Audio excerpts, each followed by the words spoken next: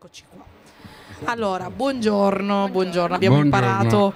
Intanto presentatevi così. Non sapevo che saresti salita pure tu, quindi vi chiedo di presentarvi entrambi. Ah, buongiorno, io sono Chiara Magrini e rappresento Top Records, l'etichetta discografica di Milano dal Di 1976. cui adesso parliamo perché è una Sì. lunga storia. E io sono Elvine Cheoni, il direttore generale del Cantagiro. Benissimo. Allora, partiamo da Top Records, che sono dei, come dire, dei lunghi, dei- degli amici di lunga data del, Sì, un della lungo Fiera percorso. Internazionale della Musica, una realtà mh, produttiva e distributiva mol- dalla lunga storia che ti chiedo un po' insomma, di raccontarci.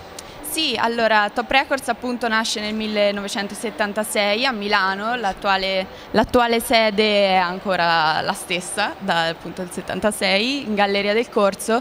E mm, ecco ci proponiamo di produrre artisti emergenti e eh, finora con ottimi risultati sia italiani che provenienti dall'estero, soprattutto eh, spagnoli e dall'America Latina, quindi ehm, molte hit diciamo estive soprattutto. Negli anni la famiglia di Top Records è cresciuta anche perché si sono Sì. create una serie di realtà. Sì, si tratta in parallele. effetti di un gruppo discografico più che un'etichetta singola, in quanto c'è Top Records in qualità di etichetta e in qualità Abbiamo di gruppo visto Guido discografico. Palma. Sì, esatto, oggi purtroppo non è presente, però sì, ieri, ieri l'altro c'era. diciamo. Esatto, esatto. E, quindi appunto all'interno di, di Top Records ci sono altre etichette come la Smoking Production e la Dingo Records e eh, anche la Kiwi Records.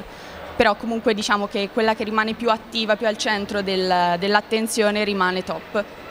Eh, negli anni come, come si è modificata l'attività della Top Records? Diciamo che da, da quando insomma, il digitale ha preso, ha preso il decollo, chiaramente anche le attività insomma, della- dell'etichetta si sono un po' modificate a livello di, produ- di- Sì. anche di promozione. no? Sì, assolutamente sì. Ecco, noi consigliamo sempre ai nostri artisti di non concentrarsi sulla produzione di eh, CD fisici o i tanto richiesti vinili oggi, però non, eh, non sono cose ecco, che rappresentano più il mercato attuale. Chiaramente rappresentano Quindi- magari una realtà concreta per alcuni artisti, ma magari non per Esatto, altri. esattamente, soprattutto per i giovanissimi di oggi è indispensabile l'utilizzo dei canali social, quindi appoggiarsi sempre a Facebook, Instagram e Spotify soprattutto per quanto riguarda la riproduzione.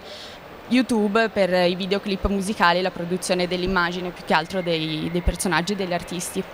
Bene, mm, in questi giorni siete, siete appunto a Piazza Città di Lombardia, a Milano, al FIM, anche con una realtà, mm, oserei dire, storica, forse la, la realtà mm, dire, che ha una storia eh, più lunga e dire, costellata di maggiori successi, cioè quella del Cantagiro. Ma il Cantagiro nasce nel 62 e nacque subito sotto la buona stella perché lo vinse Adriano Celentano e poi mm, vari Peppino di Io Capri. ricordo questi filmati bellissimi. Sì, di- è una storia tour. infinita, bellissima e devo dire che è veramente una pagina importante eh, nella storia e nel panorama della, della musica italiana. E mh, as- successivamente nel 90 fu riportato un po' in auge da Fiorello e Mara Venier, poi Ezio Radaelli ha avuto dei problemi fisici ha dovuto un po' eh, lasciare il campo. E nel 2005 il nuovo patron Enzo De Carlo che è uno stimato e, e valido ehm, manager in tutta l'area centro-sud ha acquistato il marchio e insieme stiamo portando avanti questo nuovo progetto. Perché allora nel 62 in quegli anni nacque sulla scia del Giro d'Italia e, e praticamente si, fa- si facevano queste tappe con queste macchine. Con queste macchine che sfrecciavano con le- eh, con le- con le- con esatto. una coda di Oggi è un po' improponibile perché magari ci si ferma nel traffico e addio, insomma. Se pensiamo E- che il Giro però- d'Italia però insomma, noi, eh, sì, stesso ha avuto ha avuto problemi, quindi insomma. figuriamoci anche per Roma con le Certo. buche poi vabbè.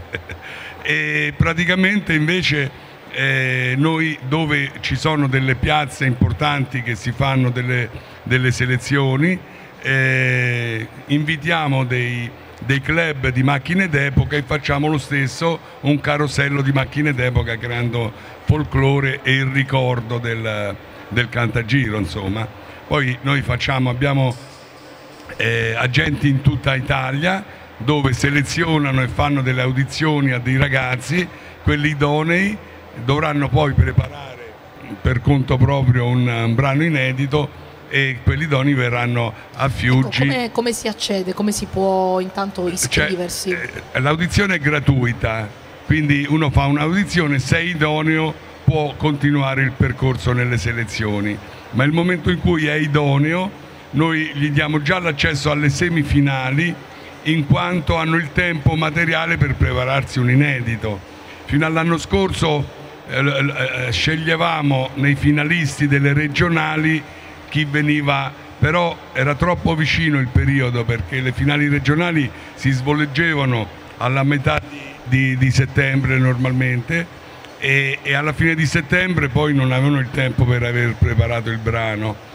Mentre invece quando riteniamo che sono idonei noi già diamo l'accesso a quello perché poi ci sono le semifinali nazionali che si fanno a Fiuggi e subito dopo chi passa fa la finale e chi passa ancora fa la finalissima, mentre il vincitore di ogni singola regione già accede alla finale, alla finale, non alla finalissima, alla finale. finale. Bene, quindi comunque la struttura diciamo, itinerante è stata mantenuta e come dire, poi parte del fascino diciamo, del cantagiro è quello.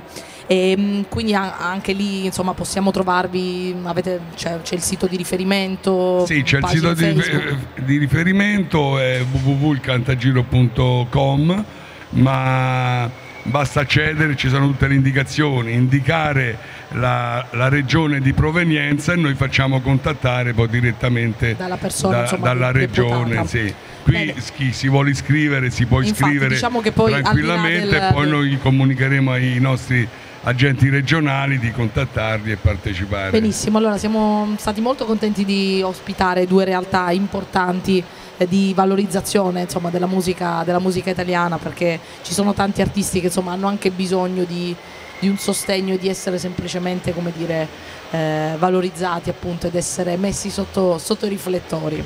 E voi in questo senso lo fate con... E, e noi abbiamo fatto questo abbinamento proprio con la certo, Top Record dove chiaramente eh, noi eh, facciamo proprio questa selezione certosina e quindi eh, i finalisti tra l'altro noi facciamo una compilation con la Top Record con tutto quello che comporta la promozione della Top Record. Quindi è un abbinamento è un felice ecco. interessante ecco. devo dire sì.